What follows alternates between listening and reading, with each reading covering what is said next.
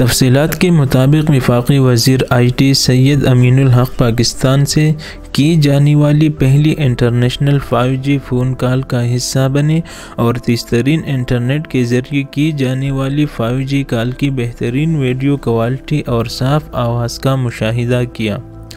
پہلی five G international call Zong headquarter Islamabad سے Beijing کی گئی، جس میں وزیر آئی ٹی سید امین الحق نے چائنا موبائل کمپنی کے ہیڈ کوارٹرز میں بات کی۔ آئی ٹی وزیر امین الحق کا کہنا تھا کہ فائیو جی ٹیکنالوجی پاکستانی عوام کے لیے کسی خوشخبری سے کم نہیں، اور یہ ٹیکنالوجی پاکستان کی معاشی ترقی کے لیے اہم سنگ میل ثابت ہوگی۔ انہوں نے بتایا کہ پاکستان میں فائیو جی کے آغاز کے لیے فائبر کیبل بچانے کا سلسلہ تیزی سے جاری ہے اور آئندہ برس پاکستان میں فائیو جی لانچ کر دی جائے گی۔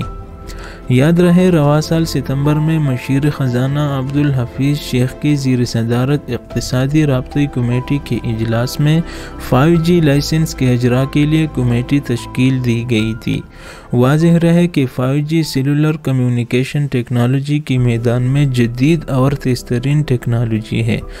ٹیکنالوجی ماہرین کے مطابق فائیو جی ٹیکنالوجی سے اسمارٹ فون پر انٹرنیٹ کی رفتار پچاس گنا بڑھ جائے گی، جس کے ذریعے صارفین محض ایک سیکنڈ میں کئی میگا بائٹ کی فلم ڈاؤن لوڈ کر سکیں گے۔